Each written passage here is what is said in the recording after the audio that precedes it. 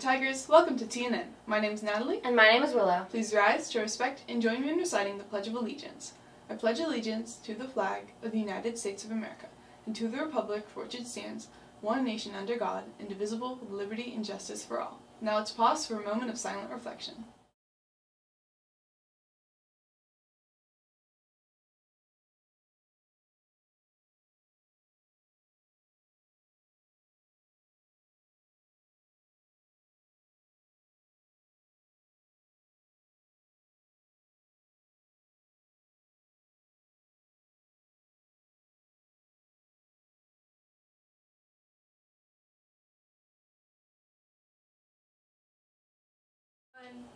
Now to cite the Tucker Middle School's mission statement.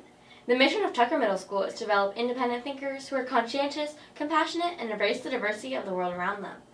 The challenging, rigorous educational program compels students to read with comprehension, write with clarity, and use information to solve problems. Here at Tucker, we are a PBIS school. We have PAWS, pride, attitude, wisdom, and success. The IB trait for March is thinker. We use critical and creative thinking skills to analyze and take responsible action on complex problems.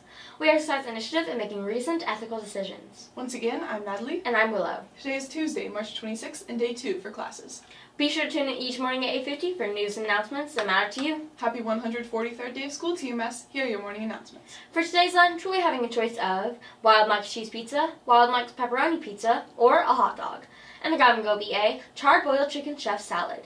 In international news, rescue workers in Baltimore are continuing to search for as many as seven people after a major bridge in the city's port was struck by a container ship early Tuesday, officials said. It is an active search and rescue situation, said the city's fire chief, and the number of missing people could change.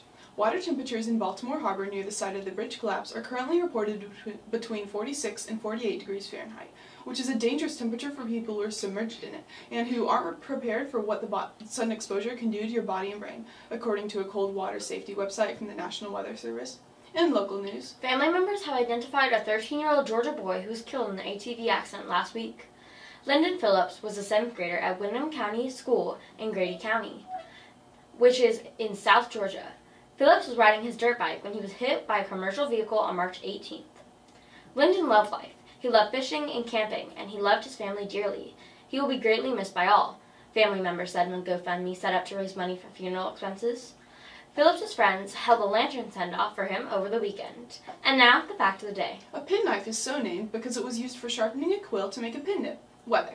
Today will be a high of 61 and a low of 52. It will be cloudy. Announcements. Don't forget to buy your yearbook for the 2023-2024 school year. If you have any questions, ask Mr. Medeiros in room B222. It's that time again. The application for the 2024-2025 TMS STEM program is open. Check the website for additional details and good luck to those applying. Well, this concludes your morning broadcast. Thanks for watching, listening, and following TNN. Your student voice of Tucker Middle School. Have a great day and succeed.